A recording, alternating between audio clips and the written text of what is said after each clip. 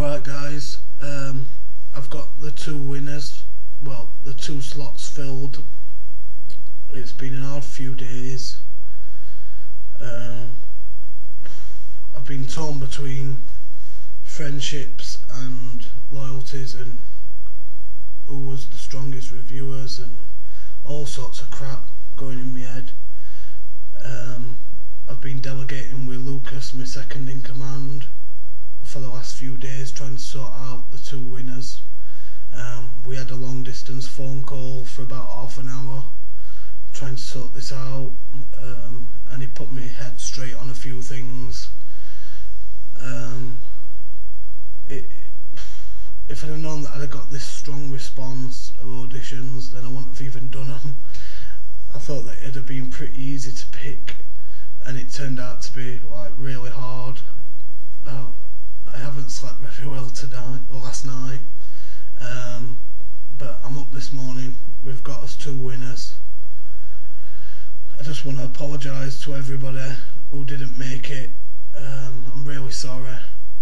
I don't want to hurt anybody's feelings. Um, I'm a nice guy on here, and I'm just worried that I might have hurt people's feelings by doing these auditions. Um, yeah, so I've got my two winners, and I'll I'll tell you who they are. So the first one, who I thought was the strongest audition, um, was Critic Nick. Um, I thought, yeah, you were great. I'd never, I'm sorry, but I'd never heard of you before the auditions, and I was really shocked when I saw your um, audition video was really strong. I liked your style. It was just yeah, it was just everything that this channel needs. So yeah, Critic Nick was my first um, first choice, and then I had my second choice until a flurry of um, audition videos came in yesterday, and then we had to get down and choose again and to practically start all over again. And yeah, it's just it's just been a mega weight on my mind. So the second one that I'm gonna choose is Dark Breed 85. Um, yeah, he, he is a very good reviewer, and I'm glad he's on board. But I'm also um, quite upset to let a few people down who I know really well and I hope this don't come in between us because I'd hate that. Um, so yeah, Critic Nick and Dark Breed 85 are my choices for the House of Horror.